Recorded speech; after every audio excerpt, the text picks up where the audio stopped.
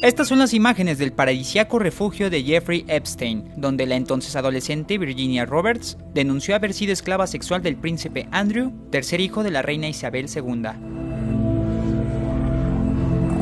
La mansión se ubica en la isla de Little St. James, en las Islas Vírgenes, la cual es vecina de la isla Grand St. James. Y por la sombría historia que se ha ordido a raíz de la noticia, se le considera la isla del pecado o también denominada Lolita Express caribeño.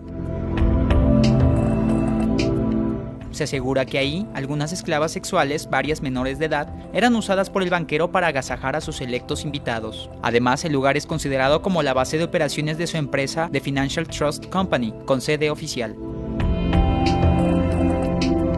El lugar cuenta con una librería de más de 90.000 ejemplares, baños saunas, una casa de baños japoneses y un cine. Son algunos de los lujos con los que cuenta. Jeffrey Epstein, dueño de la propiedad, fue conocido como un financista millonario que hizo su fortuna a finales del siglo pasado, quien se dedicó a crear un perfil filantrópico, por lo que conoció a gran cantidad de gente de la política y el espectáculo. Además llegó a acompañar a artistas a giras benéficas aunque posteriormente fue condenado en Estados Unidos por sus nexos con delitos como la pedofilia. Actualmente se encuentra registrado como depredador sexual en el estado de Florida.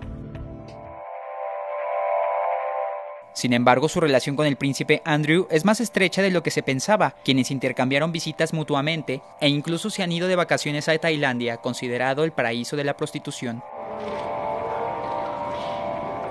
Incluso lo fue a visitar apenas unas semanas después de que Epstein saliera de prisión tras la revelación de sus delitos con menores.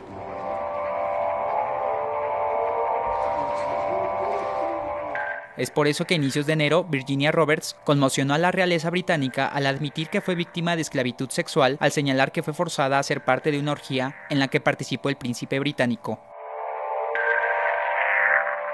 Testimonios recogidos por el diario Mirror aseguran que Epstein está en la isla y que su avión no se ha movido desde el estallido del escándalo. El Universal Televisión.